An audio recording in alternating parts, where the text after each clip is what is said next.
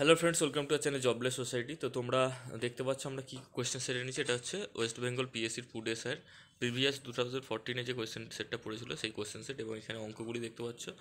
তো এই অঙ্কগুলি আমরা বোর্ডে করে নিয়েছি কোয়েশ্চেন টুকে নিয়েছি এবং অপশানগুলো টুকে নিয়ে তারপর অঙ্কগুলো কষেছি। তো এখানে আর দেখব না, এখানে আমি বড় অঙ্কগুলো দেখিয়ে নিচ্ছি একবার।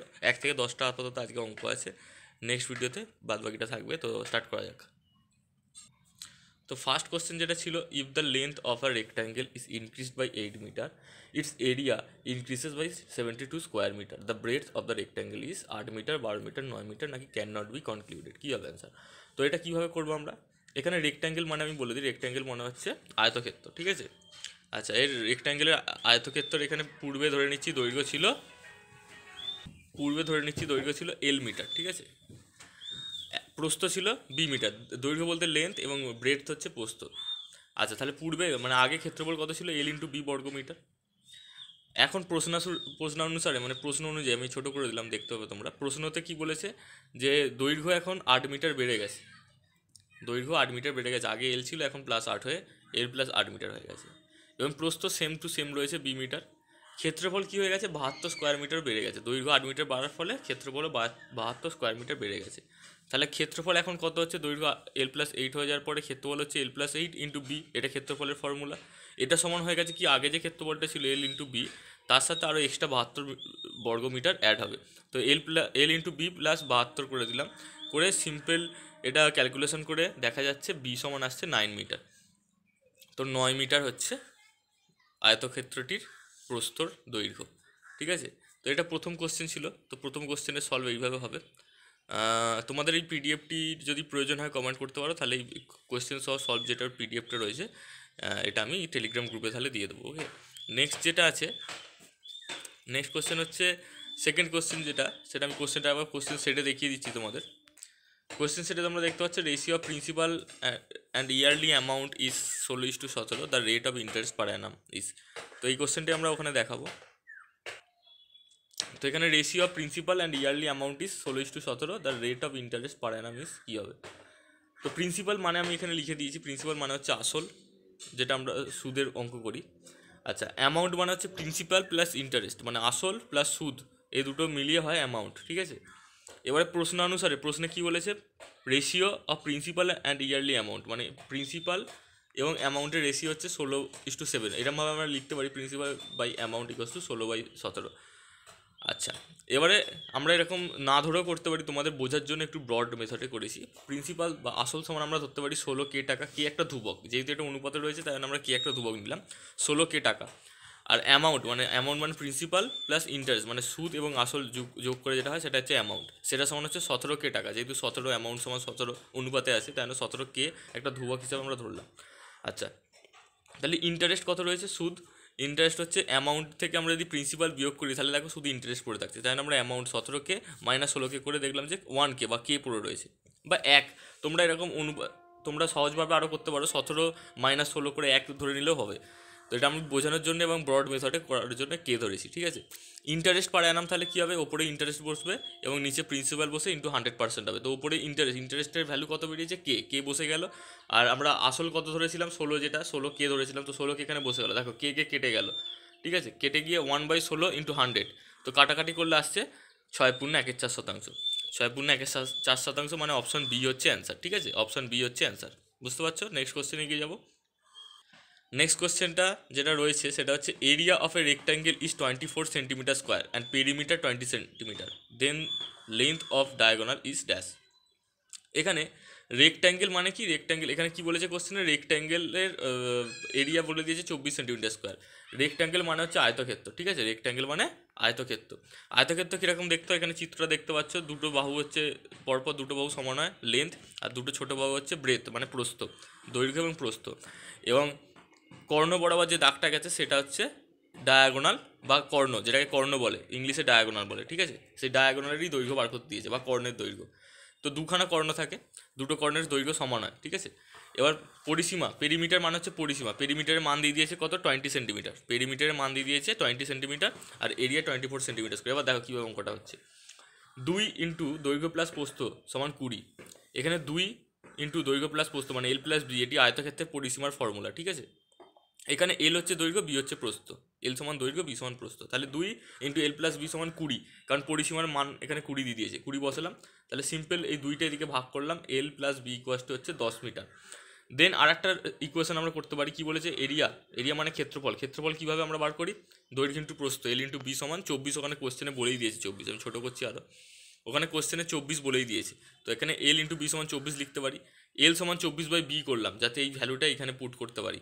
তো এল এর ভ্যালু বেরিয়ে গেলে চব্বিশ বাই বি সেটা আমি এক নম্বর সমীকরণ যেটা রয়েছে এল প্লাস বি সমান দশ, তাতে পুট করে দিলাম এল এর ভ্যালুটা এল এর ভ্যালুটা হয়ে গেলে চব্বিশ বাই বি প্লাস বি সমান দশ। এবার এখানে ক্যালকুলেশন করতে হবে বিটা লসগু হবে বি স্কোয়ার হবে, এখানে বি গুণ হয়ে এলো। তো ক্যালকুলেশন করে মধ্যসহক বিশ্লেষণ করতে হবে মধ্যসহক বিশ্লেষণ করে বেরোলো এল প্লাস ফোর সমান দশ বা সরি সরি সরি বেরোলো B minus four into B minus six সমান জিরো তাহলে বি এর ভ্যালু হয় ফোর হবে, নয় সিক্স হবে। এবার এল প্লাস বি সমান দশ, এই যেটা, এইটা যে সমীকরণটা বেরিয়েছিল প্রথমে যে দেখতে পাচ্ছ প্রথমে যে সমীকরণটা বেরিয়েছিল, তাতে আমি ভ্যালুটা বসিয়ে দিলাম, বসিয়ে দিলে হয় ছয় আসবে নয় চার আসবে। তার মানে হয় এল এর ভ্যালু ছয় এল এর ভ্যালু ছয় হলে বিয়ের ভ্যালু চার হবে, আবার এল এর ভ্যালু চার হলে বিয়ের ভ্যালু ছয় হবে, ঠিক আছে? তো সিম্পল যে কোনো একটা আমরা মান ধরে নিলাম এল এর ভ্যালু চার ধরলাম বিয়ের ভ্যালু ছয় ধরলাম, তোমরা যে কোনো একটা ধরতে পারো, দেখবে অ্যান্সার সেমই আসবে। রুট এবার এটা হচ্ছে ডায়াগোনাল ফর্মুলা ডায়াগোনাল ফর্মুলা হচ্ছে পিথোগোরাসের উপপাদ্য থেকে এসেছে, যেহেতু দুটো বাহুর মধ্যে কোন নব্বই ডিগ্রি এটা বি হলে, এটা এল হলে, তো এই যে অতিবিষ্টা তৈরি হয় root over L square plus B square root over L square plus B square এটা পিথোগোরাসের থিওরি তো এই অনুযায়ী করলে আসছে অ্যান্সার টু রুট রুট তেরো, ঠিক আছে? টু রুট তেরো হচ্ছে অ্যান্সার অপশন সি নেক্সট কোশ্চেনে এগিয়ে যাব। নেক্সট কোশ্চেন হচ্ছে ratio of cost price and selling price is five is to four then find the percentage of loss ঠিক আছে? কস্ট প্রাইস মানে হচ্ছে ক্রয় মূল্য এবং সেলিং প্রাইস হচ্ছে বিক্রয় মূল্য। তো কস্ট প্রাইসটা উপরে বসালাম সেলিং প্রাইসটা নিচে বসালাম, এটা অনুপাত দিয়ে দিয়েছে ফাইভ ইস টু ফোর তাহলে কস্ট প্রাইস হচ্ছে কত? সিপি সমান হচ্ছে ফাইভ কে টাকা। কে আমি ধুবক ধরে নিলাম আগের অঙ্কটার মতো। তোমরা কে নাও ধরতে পারো ইজিলি হয়ে যাবে। কে না ধরলেও করা যাবে, কোনো অসুবিধা নেই। সিপি সমান তাহলে এখানে পাঁচ টাকা এসপি সমান হচ্ছে চার টাকা।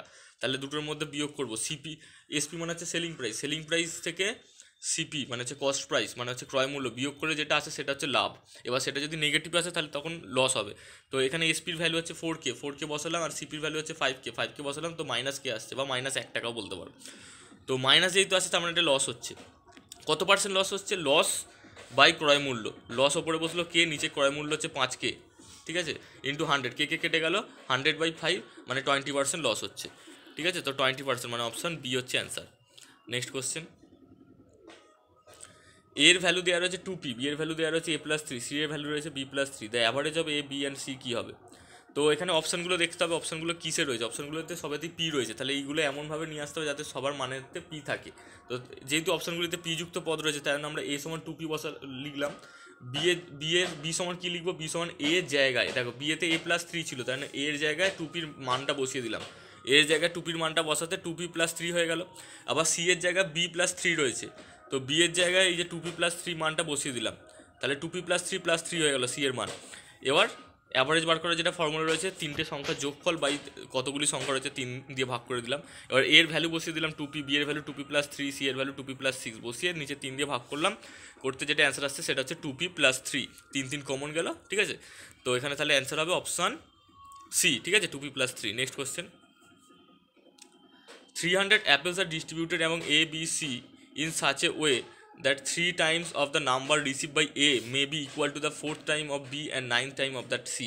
মানে হচ্ছে তিনশোটা আপেল এমনভাবে ডিস্ট্রিবিউট করা হলো যে এর তিন গুণ বি এর চার গুণ এবং নয়ের সি এর ন গুণের সাথে সমান হয়। এর তিন গুণ সমান বি এর চার গুণ সমান নয়ের সি সরি সি এর ন গুণের সাথে সমান হয়। তো এটাকে এবার আমরা অনুপাতে প্রকাশ করব। কীভাবে অনুপাতে প্রকাশ করব? এ বাই একের তিন করলাম। একের তিনটা অ্যাকচুয়ালি উঠে গেলে থ্রি হয়। ঠিক আছে? তো এইভাবে আমরা লিখতে পারি এটা। একের চারটাকে যদি আমরা উল্টাই তাহলে ফোর বি হবে। তো সেইভাবে আমরা লিখে নিলাম। এবার এর তলায় যেই সংখ্যাগুলো রয়েছে, সেই সংখ্যাগুলো অনুপাতে করলে এটাই অনুপাত হয়। এইচ টু বিস টু সি সমান এইটা হচ্ছে অনুপাত, এটা হচ্ছে ফর্মুলা এটা একটা ফর্মুলা তো এবার এইটাকে আমরা সংখ্যায় পূর্ণ সংখ্যায় প্রকাশ করব কী করে না, নিচেরগুলোর আমরা লসাগু করব। নিচেরগুলো লসাগু করলে দেখা যাচ্ছে তিন, চার, নয়, লসাগু ছত্রিশ আসছে। তো প্রত্যেককে ছত্রিশ দিয়ে গুণ করলাম। ছত্রিশ দিয়ে প্রত্যেকে গুণ করতে কাটাকাটি করলাম তিন বরম ছত্রিশ, চার, নয়, ছত্রিশ, নয়, চারে ছত্রিশ। তো এখানে A is to B is to C সমান বেরিয়ে গেল, বারো ইস টু নয় ইস টু চার। এবার তাহলে বি এর পরিমাণ এখানে নয়। তাহলে বি কত পাবে? নয় বাই বারো প্লাস নয় প্লাস চার, এটা আনুপাতিক ভাগারের formula into three hundred total apple ছিল থ্রি হান্ড্রেড তো ক্যালকুলেশন করলে আসছে একশো আটটি আপেল। আশা করছি তোমরা বুঝতে পেরেছ। নেক্সট কোশ্চেনে এগিয়ে যাচ্ছি আমরা।